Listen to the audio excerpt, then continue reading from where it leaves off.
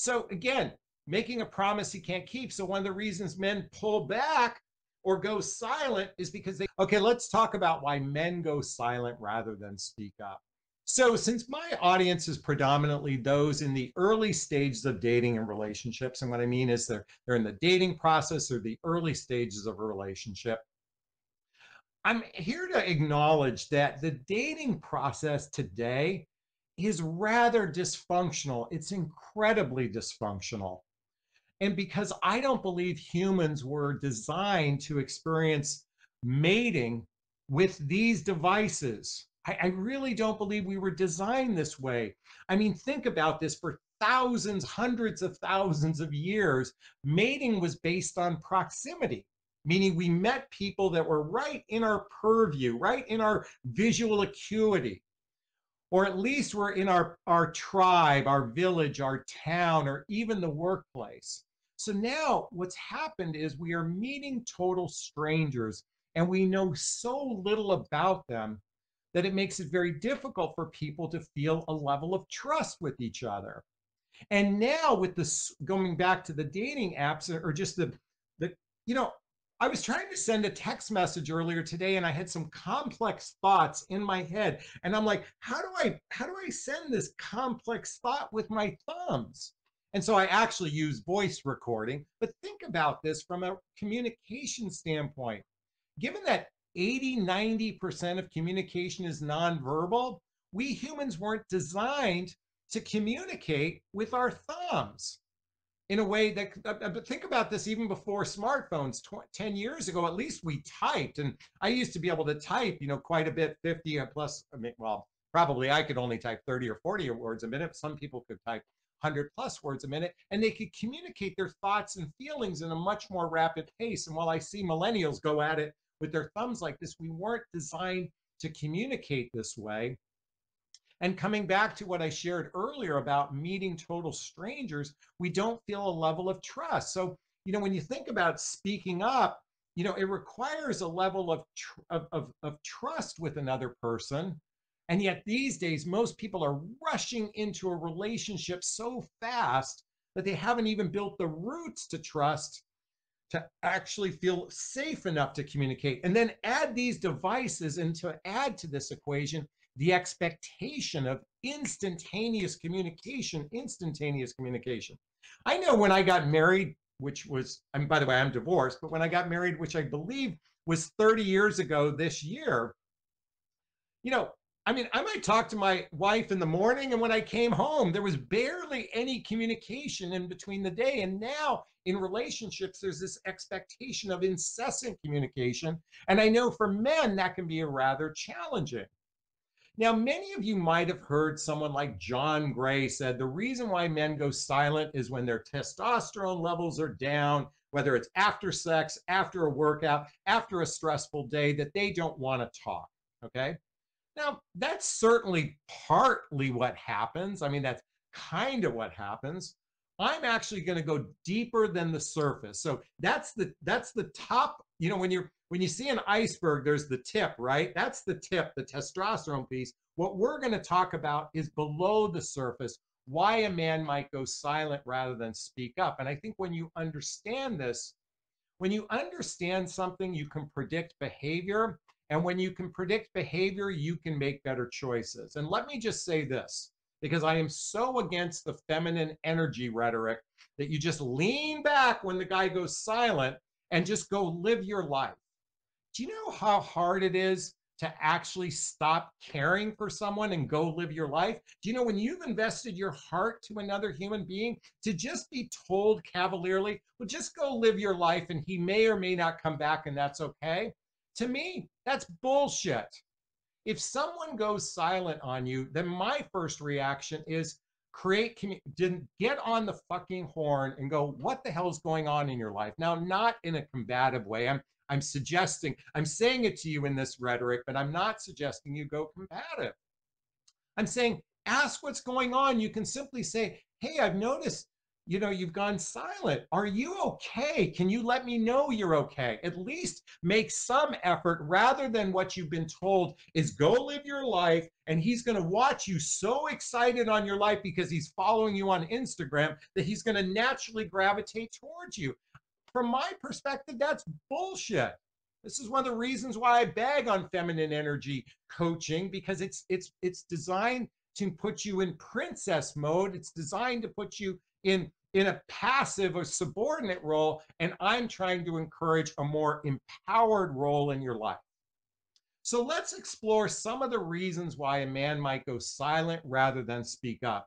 So I'm going to put on my trusty glasses and I'm going to take out my notes. Bump, bump, bump. um, and I can see people are already agreeing with me. So, one of the things I've noticed in the dating realm today is the uh, and in fact i did a poll on this but i believe a lot of people are dating are are connecting with people because they're feeling a level of loneliness and a level of depression a level of loneliness and depression. And certainly this was certainly heightened during the the beginning phases of covid or at least that first year of covid here in the united states being shut down and they were shut down all over the world but there was a level of de- de- loneliness and depression. So this caused a lot of people to bombard these devices, to bombard Bumble and Tinder and, and Hinge and, and all the different websites so they can feel a connection with another human being. And I believe it was for, it was actually a form of self medication, self medication. In fact, I can say that for myself even after my divorce, which was 15 years ago you know, I started online dating as a way to self medicate because I was feeling so miserable through, you know, because the tapestry of my life just fell apart and I needed some sense of connection with another human being. And I notice this is true of men and women as well, that the vast majority, by the way, I heard recently, and don't quote me on this, but in 1950, the roughly 22% of the population was single here in the United States. And as of three years ago, that number was closer to 55% of the population is single. Now, I'm assuming when they say single, that could be people in relationships but are not married. But think about that. There is a huge percentage of people are single. And these dating apps, do you know these dating apps are designed to keep you on the apps? I, I watched I watched um, a documentary about this, not the Tinder swindler, another documentary about how the algorithm looks at who you swipe to send you people like what you like. So, but some of these people aren't even on the dating site. So, can you see how traumatized human beings can be, men and women alike? And so they're feeling a level of loneliness and depression. And then even the dating process can heighten this even more so to make us feel not good enough, not lovable, and not likable. So, you know, sure, we can blame it on someone's testosterone levels go down, but let's look at the more important layers below what's really causing someone to go silent and not speak up. So, loneliness and depression is number one. Number two, a significant percentage of the population is only dating from a place of spending time with someone and not growing with someone. Let me repeat that spending time with someone and not growing so, with someone. And that's a big thing that we, that's a, we have to distinguish this because this is really important. A significant number of people, men and women alike, are seeking a little bit of companionship, a little bit of connection, and a little bit of sex. Okay. And if they get a little bit of companionship, a little bit of connection, a little bit of sex during the week, not a lot of regular, could be once a week, maybe once other week, they feel a level of content. They're good at spending time with someone. Then there's other people like myself who genuinely want to grow with someone. They genuinely want to feel that level of chemistry, to feel that level of communication like you're talking to your best friend, to feel that level of compatibility where your lives blend together, to feel that level of character, meaning your values are, are, are similar to one another to feel that level of building the roots to trust. And I talk about this in my private coaching, building the roots to trust. By the way, there's a link below to get a schedule a discovery call with me to see if working with a coach is right for you. Because I think it's really important to understand the roots to trust. And I'm not talking about just that trust of of do I trust monogamy and exclusivity and non non infidelity. I'm talking about the trust of can I trust that this person cares about my feelings as much as they care about their own feelings? And by the way, this is vice versa as well. So we see this significant percentage of the population that's mostly looking to spend time with someone and not actually growing with someone, not actually building a relationship with someone. Ladies, this is why if you're in that category like me, where you want to build a life with someone, then let me just say this before the penis goes inside the vagina, read the book Eight Dates by Doctors John and Julie Gottman. By the way, there's a link below to Jonathon Recommends Books. I highly recommend this book before you begin investing in the wrong person because a significant percentage of, and by the way, this is true of women. I know so many women, all they're capable of is spending time with someone and not actually growing with someone. And why is this critically important? Because when you only want to spend time with someone and not grow with them, then you're not building the roots of trust to feel emotionally safe to actually speak up. So what happens is people go silent, men in particular go silent. And number three, one of the primary reasons why men go silent has nothing to do with testosterone is they don't want to make promises they can't keep. They don't want to make promises that can't keep. What I mean to say is, men will not listen we'll come on strong to get laid. I mean by the way myself included i'm a red-blooded male. When i'm feeling excitement for someone i do tend to come on strong. It's it's limerence it's lust. It's not love bombing. I mean i'm not going overboard because i do know when to apologize. But what i mean to say or, or let me reframe that. I do know when there's a boundary from a woman, and it's important to listen to that boundary. A love bomber doesn't do that.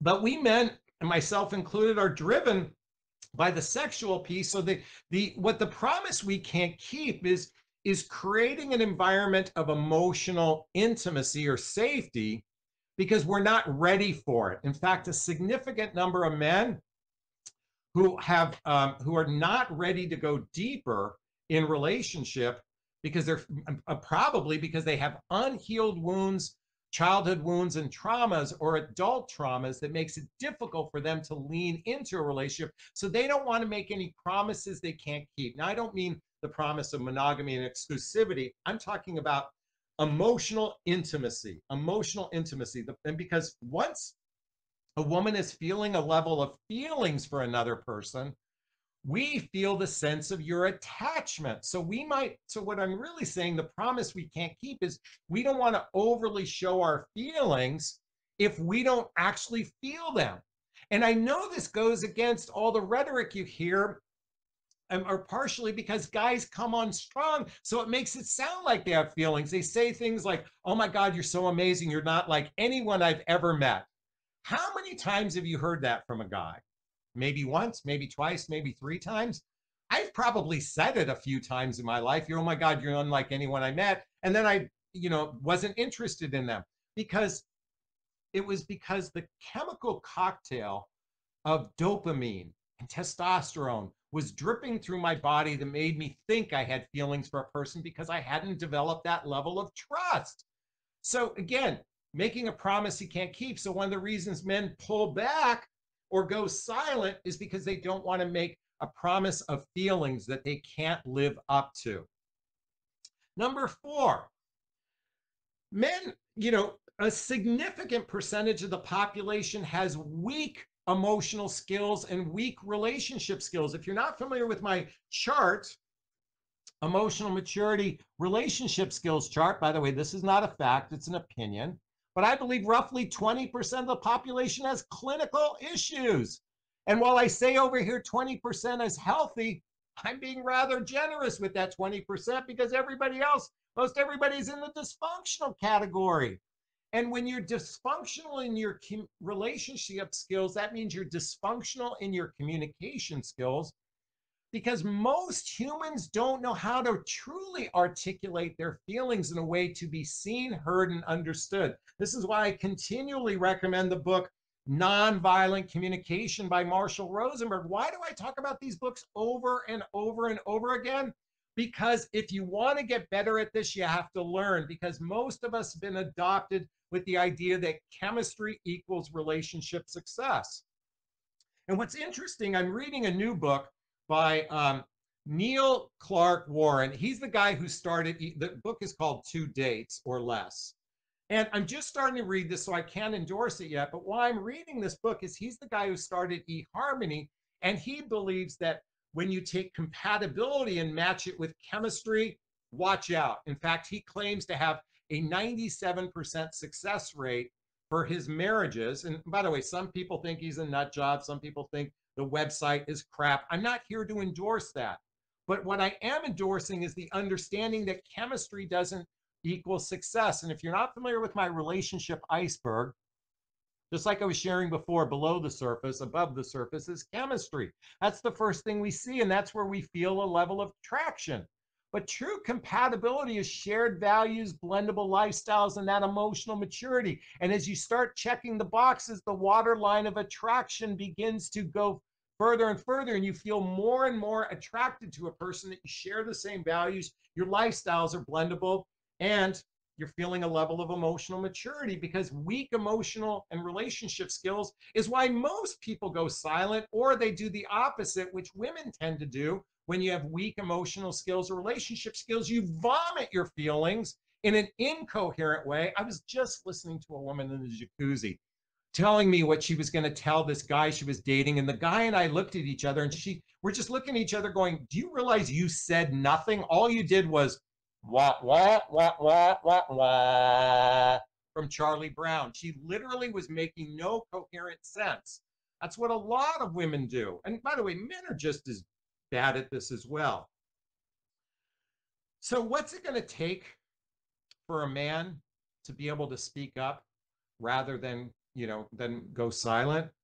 Folks, it requires building trust in the relationship. And the way trust is built is through emotional safety and emotional intimacy. And if you're not familiar with the book Emotional Intimacy by Robert Masters, I highly recommend checking getting this book so you can learn emotional uh, intimacy because ultimately, look at, I want to say this.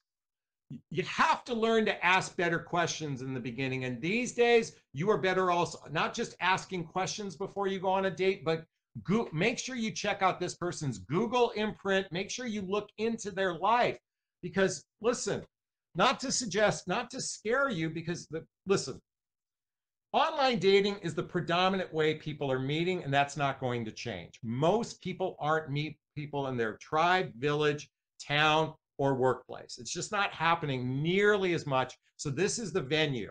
And as I said in the beginning of this broadcast, we're meeting total strangers. So, what is that going to require? Asking better questions, checking them out on whether it's Google, Insta, you know, do a Google search for someone. Don't be naive to this and slow the process down.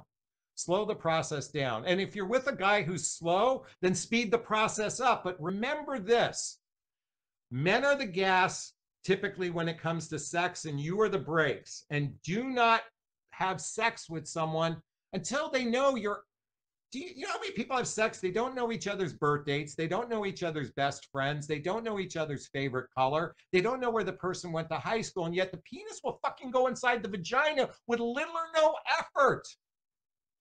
And so if you wonder why it's a clusterfuck out there, this is a compilation of what's going on. And the only way to shift this story is to begin.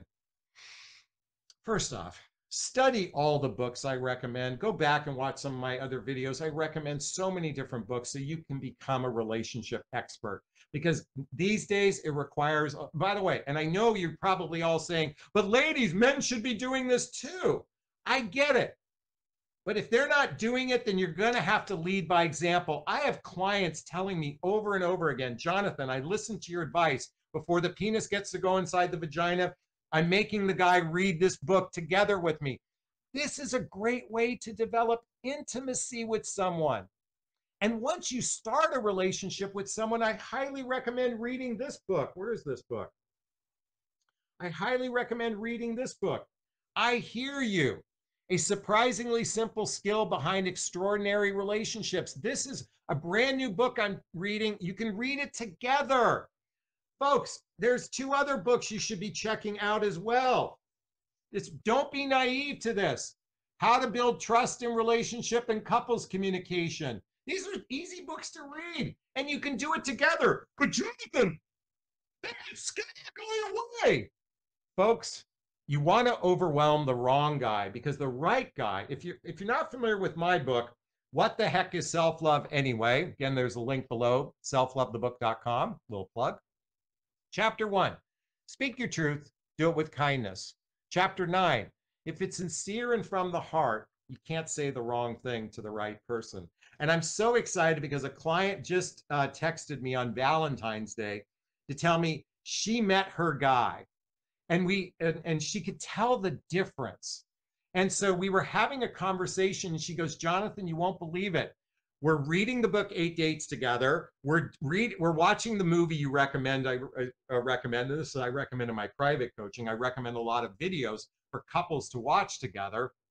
And the purpose is this is what builds intimacy not how's your day going? Did you have a good day? I hope you had a good day. Did you have a really good day? Have a blessed day. You know most people are by the way, this is why I get so bored with the current dating process because I, just like you are frustrated with men who are lacking inquisitiveness, I feel the same way. So many of you are unconscious. So I'm shoving this down your throat, these books, because I make you a promise. When you can have faith in yourself and trust in yourself, you actually become a magnetic attractor to what you want. So I invite you all to begin to pray. Now, I don't mean pray to a religious God. I'm talking to God, universe, or spirit. I call it Gus. I want you to pray to Gus. I want you to find that space within you that emits.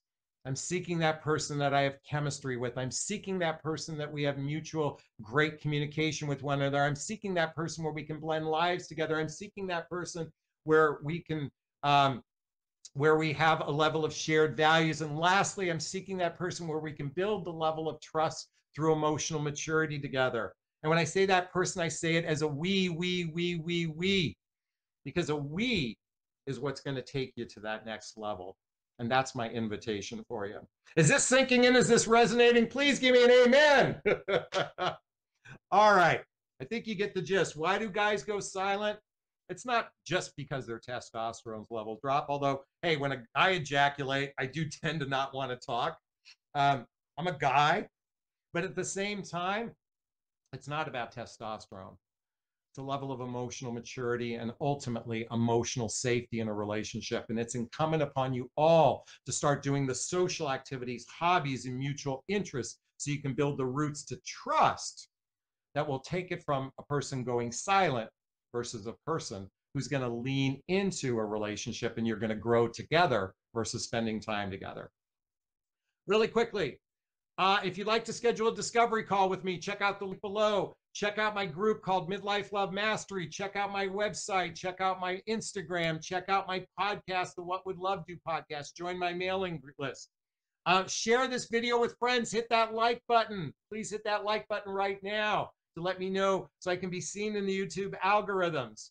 And I'm going to wrap up this video as I always do. First off, giving myself a big, gigantic Jonathon Bear hug of self-love. I'm going to reach into the camera and give you a hug of love if that's okay. I'm going to ask you to turn to a friend, a pet, a teddy bear, a pillow, and give it or them a hug of love because hugs are a great source of love. Let's face it, we could all use a lot more love in our lives.